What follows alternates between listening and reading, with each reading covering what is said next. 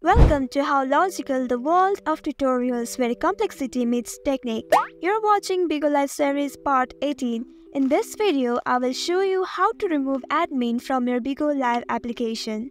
If you want to remove the admin from your live that you have previously set, then first go to the live streaming page. Right now I am streaming live here and these are my viewers here. From here, find the person whom you set the admin previously. Go to their profile by clicking on it.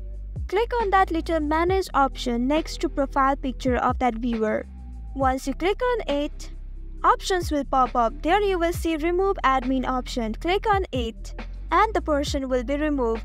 But if you didn't find this person, then there is a shortcut to remove this admin.